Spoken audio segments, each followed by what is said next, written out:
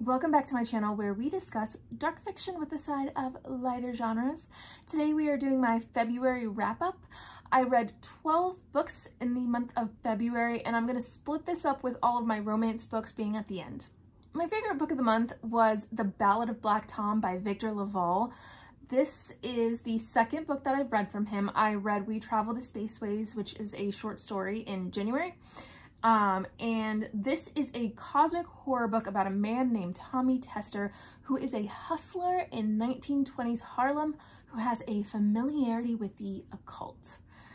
But he gets in over his head when he accepts a gig for a rich white man and a whole new world is unveiled to him. This book did an excellent job of combining the horrors of racism with cosmic horror in this very unique tone that Victor LaValle has. He brings a very special voice to his work. I feel like you could probably show me like a paragraph from one of his books and I would just know by I would just know it's him. He's he's so specific and this book is just so damn good.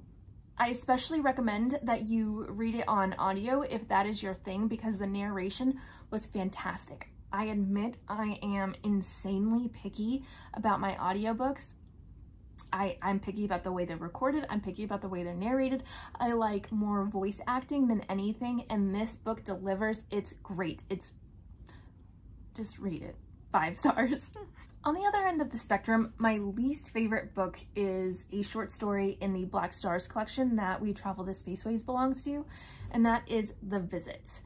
Um, this is a book, it, this is one of those concepts where the author imagines that instead of a patriarchy, we have a matriarchy, and it's supposed to highlight the way women are treated in our society. Um, but like pretty much almost every other book, story, whatever, that tries to do that, it fails.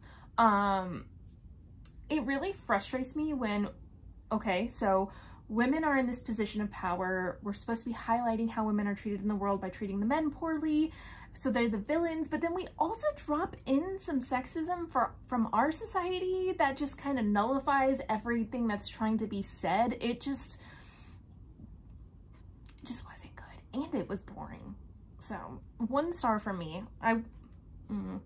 Another story from this collection was The Black Pages. And I feel like this is just a situation where it shouldn't have been a short story. Um, I, I think the writing style is there. I would probably continue to check out work from this author.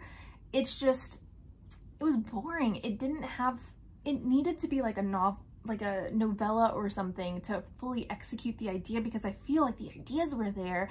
I feel like the characterizations could have been there, but they're just needed to be more to it to truly be invested in anything. So um, this was two stars for me. It wasn't terrible, but it it just was, you know? It just it just was. And another book from the Black Stars collection would be Clapback. This has an interesting concept because the whole idea is that this like designer puts these like nano robots into clothing that then absorb into your skin and then you can tell the stories of whatever it is. Um, it was pretty solid. I do think that there could have been more cohesion between what is essentially part one and part two.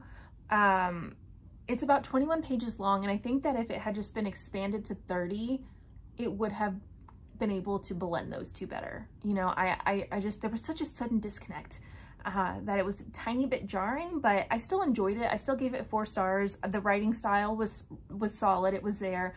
It just was a little bit abrupt when switching between those part one and part twos. The best out of this collection uh, was These Alien Skies. This, I'm gonna, I'm not gonna tell you what it's about because I feel like this is a good one to go in blind. Um, but this is space exploration, new world exploration. Um, and just it was well written. It had this curiosity to it that was super engaging.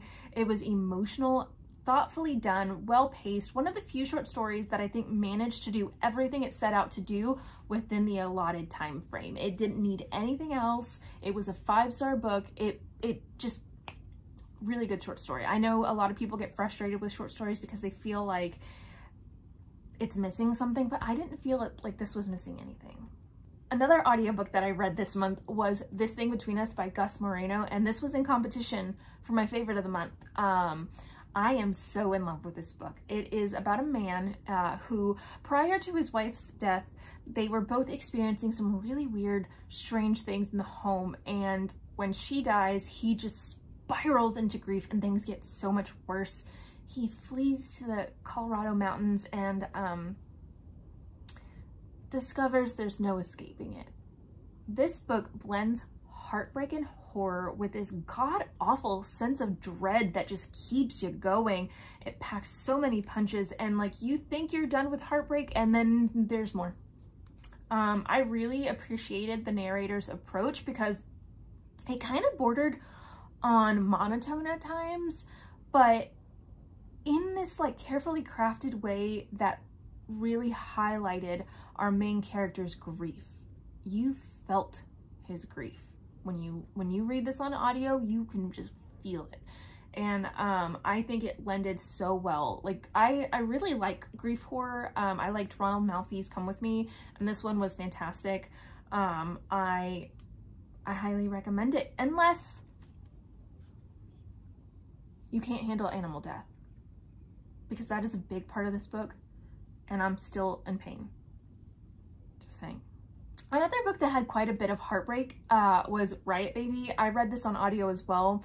Um, it was narrated by the author who did a fantastic job. Um, so this book is about a set of siblings, one of whom has superpowers and one who ends up imprisoned, and his sister with the superpowers would burn the world for him. Um, I, I like this, okay. I know that the big complaint about this book is that it just feels like the the superpower, the supernatural whatever element was just dropped in there. But I liked that. It's kind of interesting to explore the concept of a world where, yeah, there's just, it's just, you know, like everything else is the same. Something about that just made it so effective. It's an infuriating, heartbreaking, and painful book. Um, there is not a lot of happiness in this book, I'm gonna admit. I do think that things could have been expanded on a little bit in this book. I do think that occasionally things transitioned a little bit weird, but it's still beautifully written and very well narrated by the author, and it's a very quick read. So I, I would recommend it if you can handle things like racism and the prison system. I also reread You. Uh, I think I, a lot of these I talked about in a previous video, uh, which I'll link up here. Um, it was a reread. All I'm going to say is I liked it even better than the last time. If you haven't read it, you should read it. Another audiobook that I read this month was The Good House, and I really enjoyed this. Um, I initially gave this five stars, and I did knock it down to 4.5. This is a book about a woman who was trying to, you know, repair her family, um, she used to find great comfort at her grandmother's home, but when an unexpected tragedy happens there, her whole life is just set off balance. And when she finally returns, she has to confront something so much greater and bigger than she is. I think it's well written. The audiobook is a magical experience. Robin Miles, I cannot even begin to explain to you how fantastic of a narrator she is um like even if you don't like the book i think you'd like the audiobook experience kind of a thing. Like she just brings she has accents her inflections for everything. Like she freaking nailed it. It was just phenomenal. Like i would like to listen to her read me a grocery list. You know like she's just good. Um but yeah I, I initially gave this five stars but the longer i thought about it i found i i really found myself frustrated with the ending that felt like a bit of a cop-out. It's one of those, oh, ha, ha, ha. Mm, I don't want to say what it is because I don't want to ruin, but yeah, it felt like a cop-out. So after a long debate, I decided to just take off that half star because it really, I think, it, it that was unsatisfying to me. So um, my next book by this author is probably going to be The Between. Um, I had received a copy of that from my Amazon wishlist and I just, I'm interested in reading a book by this author in physical format and not audio just to see how much Robin Miles did for this book, you know? now we're hitting our romance. I read three romances this month, which is a lot for me. Um, I've been on a romance kick in general so far this year. Um, one of the books I read was Taken by the Dark Elf King, and I really only picked this up because I had read um, A Soul to Keep by Opal Reyne, and this showed up in like my recommendations afterwards. And this is a fantasy romance between the Princess of the Light Elves and the King of the Dark Elves, where Elviar Princess attends an event that is like she's never been to this kingdom. They don't, they, they keep separated, but she attends this event and ends up engaged to the king. And um, I liked the writing style. I liked the spice. I didn't have much to complain about except the pacing. Um, I gave this four stars.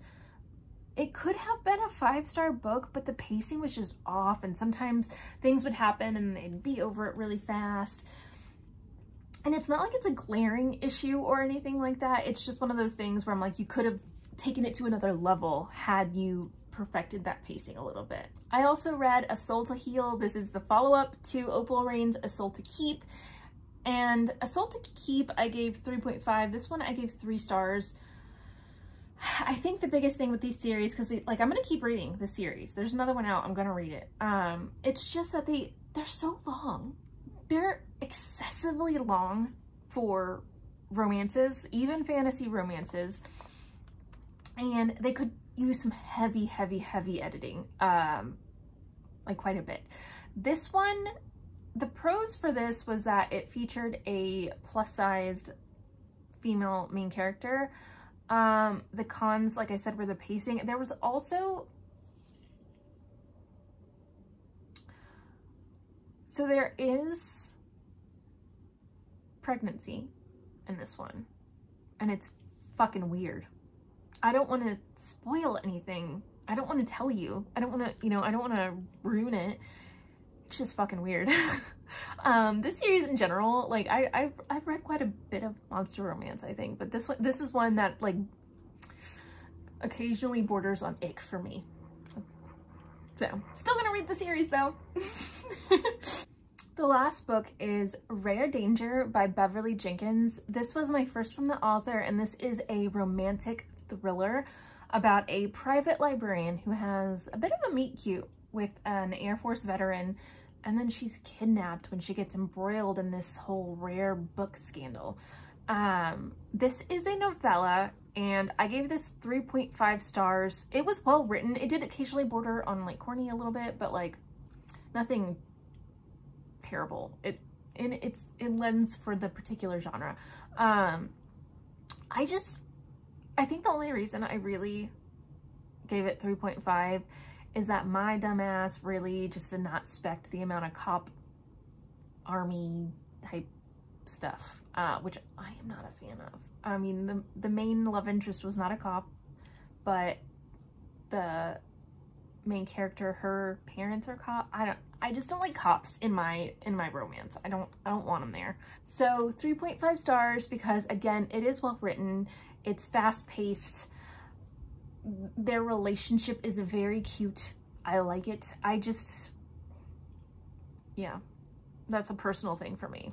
Honestly, it's not it's just a 3.5 for me in particular. So if you don't mind those things, you might really really really enjoy this book and rate it higher than I did. But yeah, I'm going to read more by this author. Thank you guys so much for watching. I hope you don't mind that this one is a bit scattered. I did not like write out like an outline for it. I just kind of like wrote the books down and went for it. Um, but uh, I will be back next week. I'm working on a few different things, including a romance roundup and some indie author collections. So I will see you soon.